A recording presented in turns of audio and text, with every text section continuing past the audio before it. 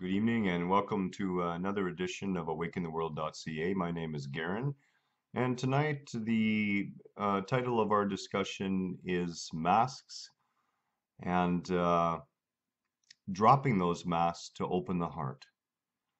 So let's start with uh, a little thing that happened to me. So just in case I'm not totally clear tonight or stop suddenly and gaze off into space, uh, our new laptop came in today and in the process of hooking everything up and transferring everything over, I managed to run my forehead straight into the corner of a cabinet.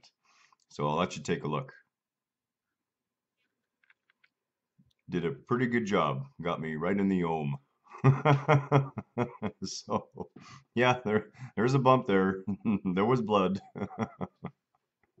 so anyways, back to this.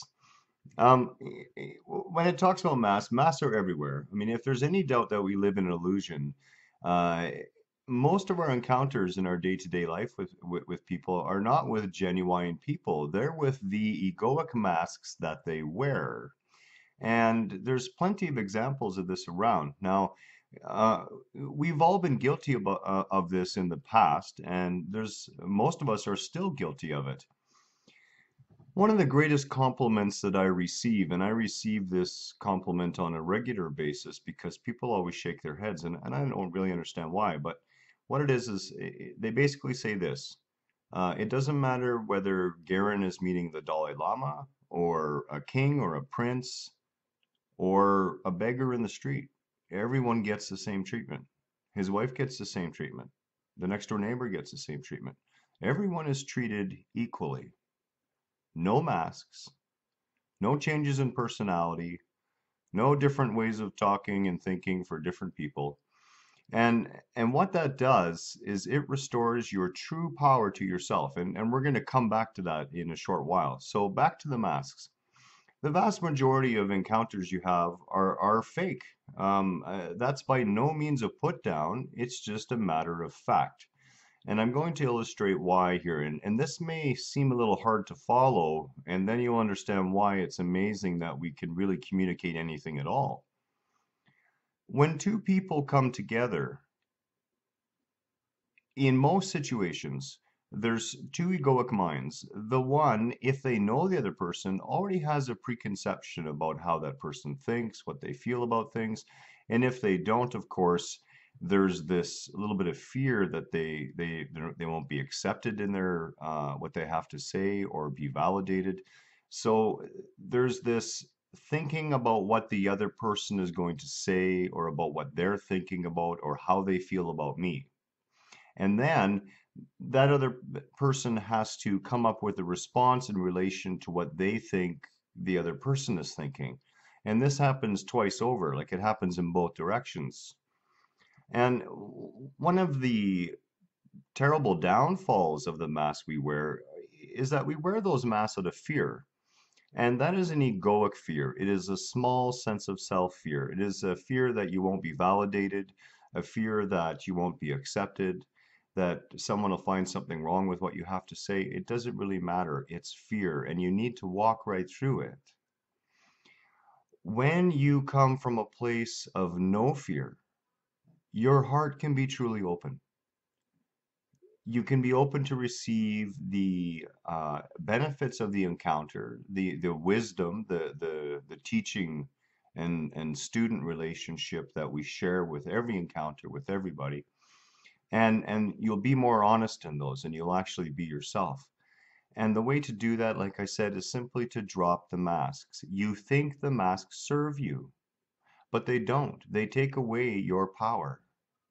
So let's imagine that you wear a mask for your employer and you wear, you wear a mask for your best friend and you wear a mask for your husband or your wife and you wear a mask for your child. That's called the parent mask.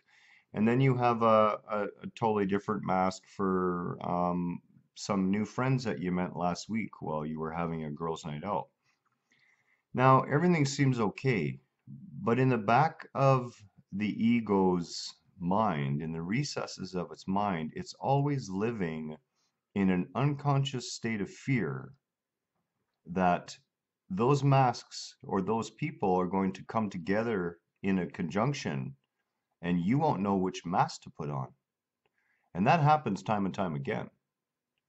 And it is that unconscious fear that will actually help reinforce the masks and cause even more problems or even the creation of new additional masks. Masks which are half supportive of this and half supportive of this and trying to blend it together.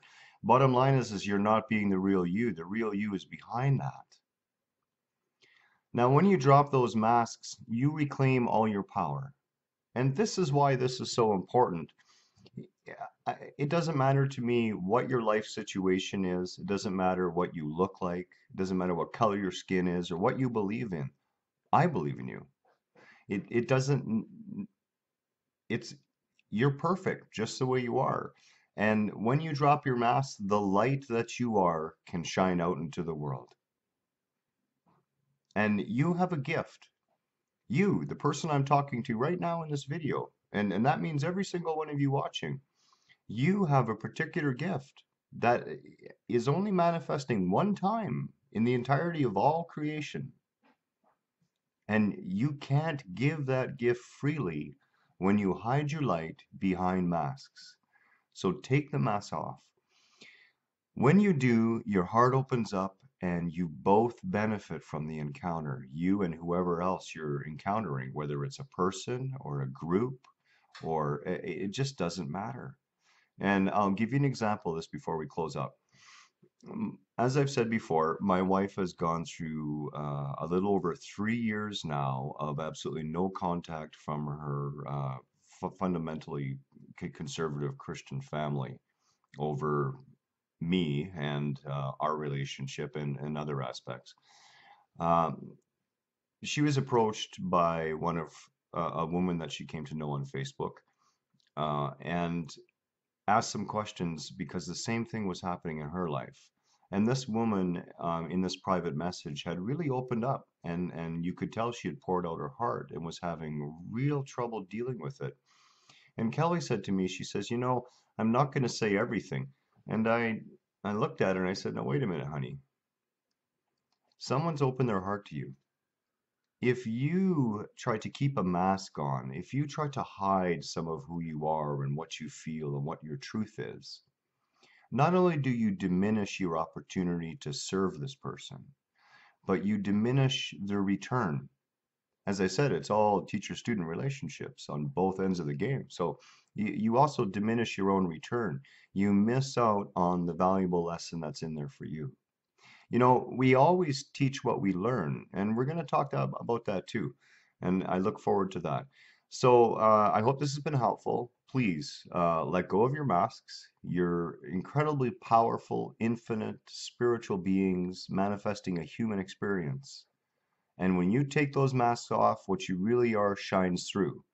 I mean, I see you there anyway. You you can't get away from me. So have a wonderful night, and we'll talk to you again soon. Take care.